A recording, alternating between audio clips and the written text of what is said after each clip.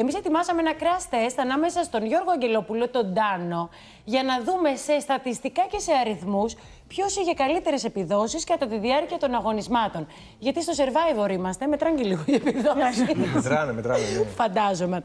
Βλέπετε λοιπόν ότι ο Ντάνο έπαιξε 301 αγώνες και ο Σάκης 302 αγώνες.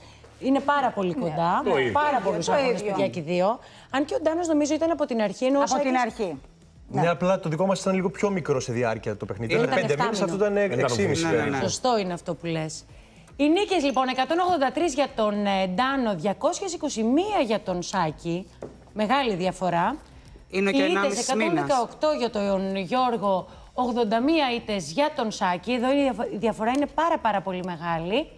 Και το ποσοστό των νικών σε ποσοστά δηλαδή 60,8 για τον Γιώργο Αγγελόπουλο, 73,1 για τον Σάκη. Βέβαια η σύγκριση δεν μπορεί να είναι αντικειμενική, γιατί Δεν- έχουμε να κάνουμε με δύο διαφορετικά survivor και με δύο, διαφορετικούς, δύο, δύο διαφορετικές ομάδες. Οπότε, Άλλους αντιπάλους. ναι, άλλους αντιπάλους. Δηλαδή ο Σάκης μπορεί στο δικό μας survivor ίσως να ήταν διαφορετικό το ποσοστό του. Μπορεί να είναι μεγαλύτερο, μπορεί να είναι μικρότερο. Σωστά, σωστά. Το ίδιο και για τον Τάνο. Οπότε, εντάξει, τώρα βλέπουμε μια, μια εικόνα, δεν Δύο ανταποκρίνεται βέβαια. νικητών. Ναι, δύο νικητών. Δύο νικητών, ας το θέσουμε Δυνατών έτσι. παιχτών. Δυνατών Δυνατά παιχτών. παιδιά τώρα και Ναι. με κόσμο που τα υποστήριξε από την αρχή. Δηλαδή ήταν πολύ ο κόσμος θετικός μαζί τους. Έτσι.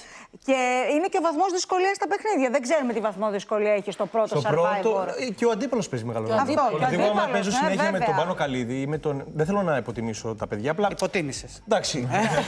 Όταν είσαι 25 και ο άλλος είναι 45, τα νιάτα δεν γίνονται τα παλιά. Ευχαριστούμε, Πόσο γυμνασμένος Κωνσταντίνε είσαι. Βασάλο, για τα πολύ Εντάξει, καλά μου σου κάνει λόγια. αθλητισμό. Σκέψου να πας τώρα στους Ολυμπιακούς Αγώνες και να παίξεις με έναν 25. Εγώ, εγώ είμαι 31. Θα χάσω, δεν γίνεται. Τα νιάτα δεν παλεύονται.